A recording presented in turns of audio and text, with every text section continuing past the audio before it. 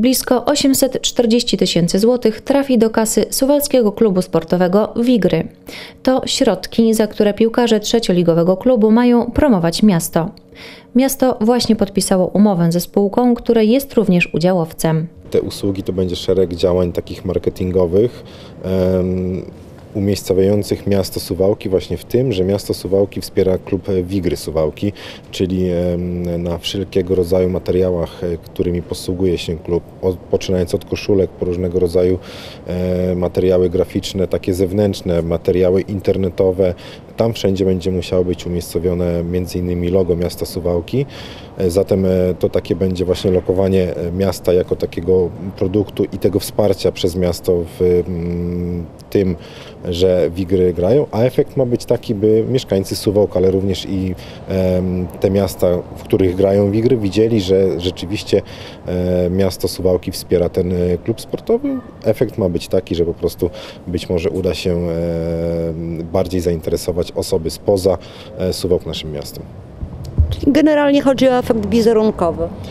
E, Generalnie tak. Tutaj chodzi o pokazanie tego, że, że miasto wspiera tę dyscyplinę, wspiera ten klub e, sportowy. Nie ma co się czarować. To sposób na to, by wesprzeć finansowo klub, który kokosów nie zarabia, a w historii miasta swoje zacne miejsce ma. Nie ma jednak wystarczająco zasobnego i hojnego sponsora, który postawiłby na miejscową drużynę piłkarską. Poza tym, z końcem bieżącego sezonu rozgrywkowego z miejskiego systemu wsparcia sportowców znikają stypendia wprowadzone wiele lat temu. Usłyszeliśmy w ratuszu. Suwalscy radni od dawna zapowiadali zmianę zasad wspierania miejscowych sportowców. Dostrzegając wady systemu stypendialnego, szukali rozwiązania i ostatecznie stanęło na tym, że po prostu wygaśnie uchwała, a kolejnej nie będzie. Wiodące w mieście dyscypliny to siatkówka i piłka nożna. Trzecia z dyscyplin to badminton. Wszystkie są kosztowne, ale o sponsora najtrudniej piłkarzom, którzy po kilku latach na przysłowiowym wozie od dawna nie mogą nań wrócić. Bo na to potrzeba pieniędzy, a pieniądze będą, gdy drużyna się podniesie.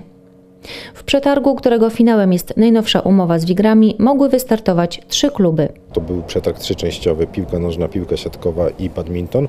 Nie złożono jedynie oferty w badmintonie. E, Zatem w tej części przetarg e, został unieważniony. Dlaczego władze e, Suwalskiego Klubu Badmintona nie złożyły tej oferty? To już pytanie do zarządu klubu.